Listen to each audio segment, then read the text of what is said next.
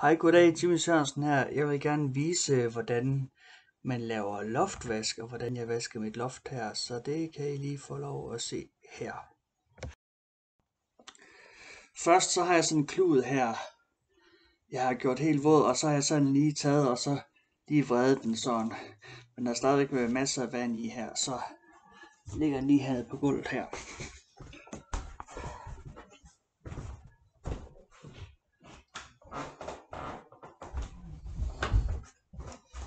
Sætter jeg den ellers på lige her. Ja. Sådan der. Så sidder den her på swapperen. Hvad er det?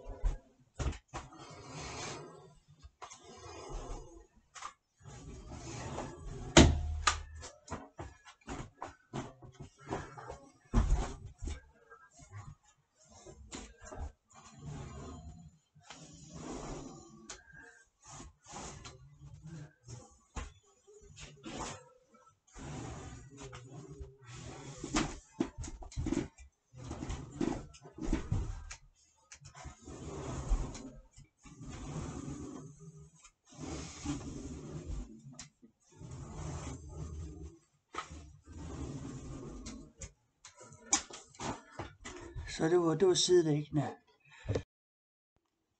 Så af med kloden. Og en ny ind på.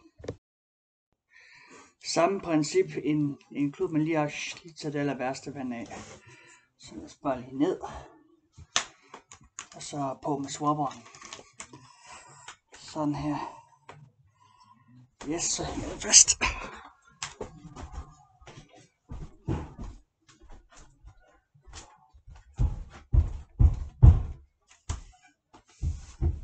ind til væggen.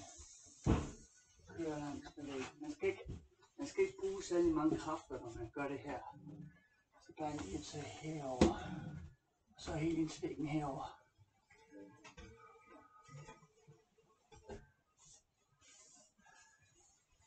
Sådan der. Og Så tager jeg lige herop, og så kører jeg lige midt i her. I får lige sådan en her. Så helt ind til væggen. Gå herover. Yes. helt ind til væggen. Man skal ikke bruge så mange kræfter. Så der er mange mennesker, de, de spænder enormt op, de tror, den er helt tung. Men det er den ikke. Man skal bare høre her.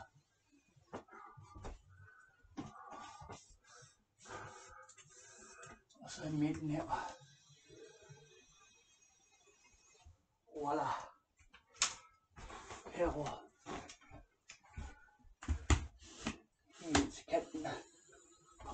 Lampe der, så vender man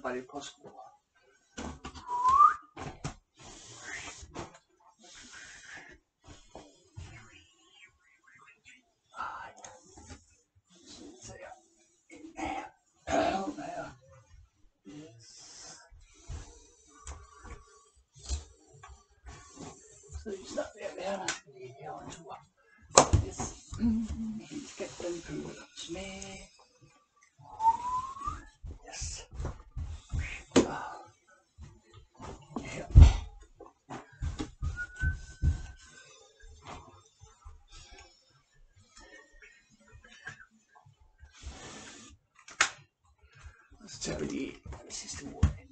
Yes. Mm. Ja,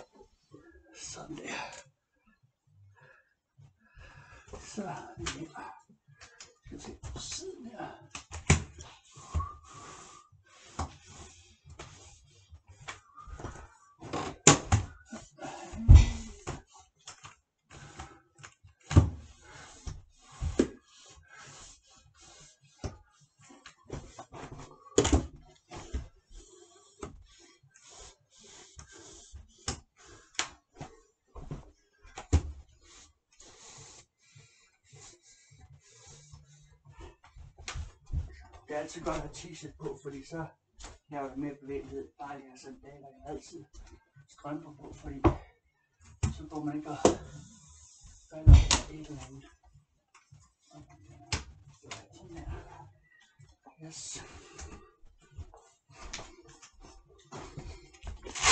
Så er med den her. Så vil jeg anbefale, at hvis man tager trælister, så skal man lige vride den en ekstra omgang. For ellers så kan den dryppe rimelig kraftigt nemlig.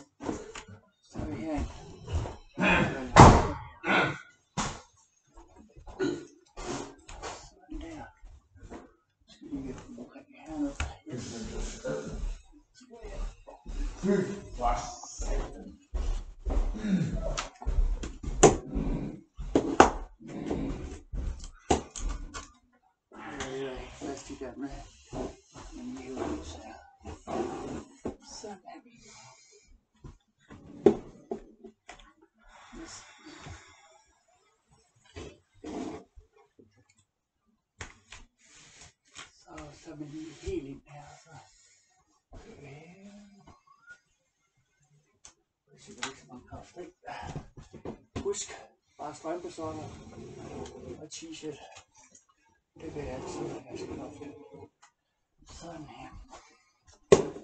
Yes.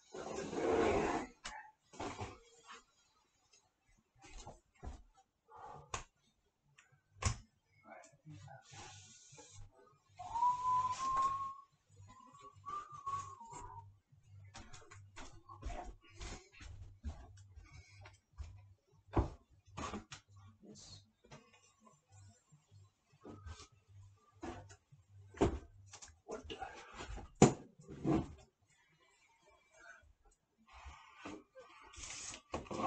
Lige tage lige her. Okay, der skal det godt køre her også. Sådan der. Først tage listerne herovre.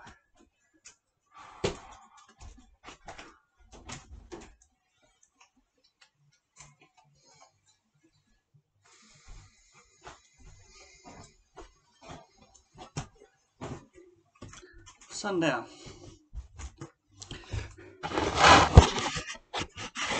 Jeg vil anbefale, at når du har sådan nogle trælister som dem her, her kan vi se her, trælister, der går hernede af, og sådan for eksempel trælister hernede ved, ved gulvet her, øh, der vil jeg anbefale, at man bare bruger en øh, våd klud. Så det er kun, er, der er væg, væg og loft. De andre, altså træer nogle, dem bruger man bare en våd klud, så en dag. Og igen, bare en våd, varm klud her. Så tæller til fire. En.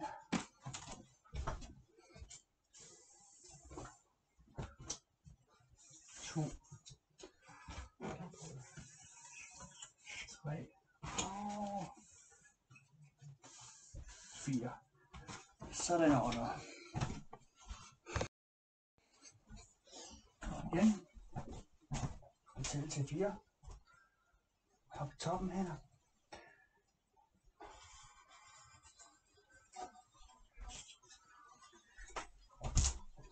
Så langt ind man kan komme. Så kan man lige vende kloden rundt. Så langt jeg kan, og så kører.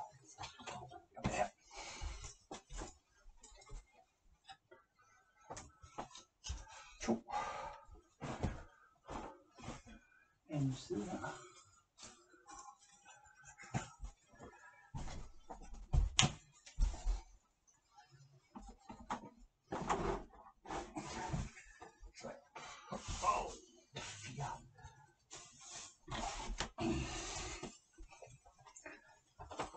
Så. Har jeg lige valgt at skifte til en ny våd varmeklud.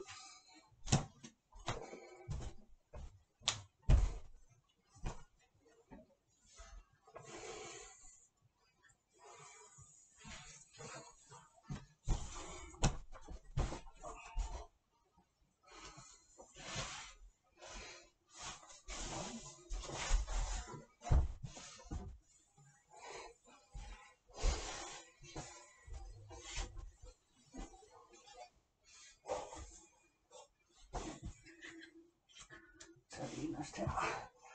Ja, i stedet kom ind. Så kan du bruge sprayen af vand på i stedet for. Ned og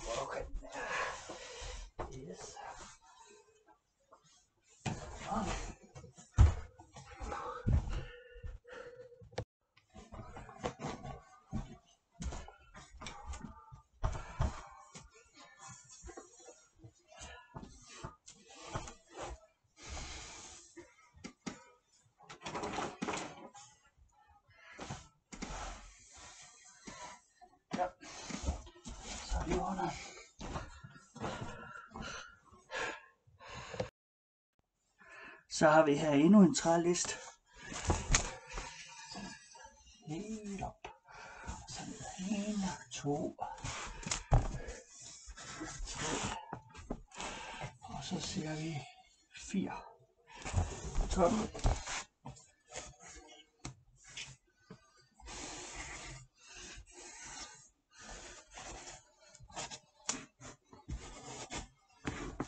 Ikke alle steder ned.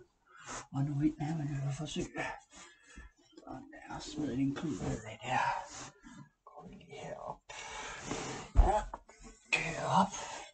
Siden kør op. 1, 2, 3, og så 4.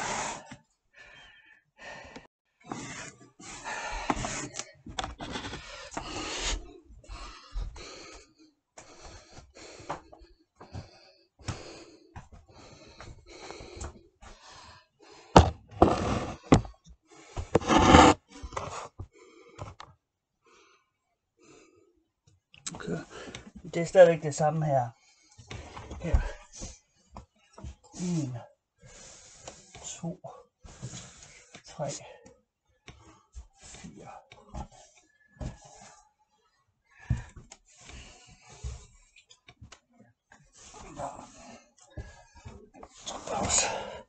Men det var så det for den her omgang her med loftrengøring. Så i næste video, så handler det om de svære steder at gøre rent.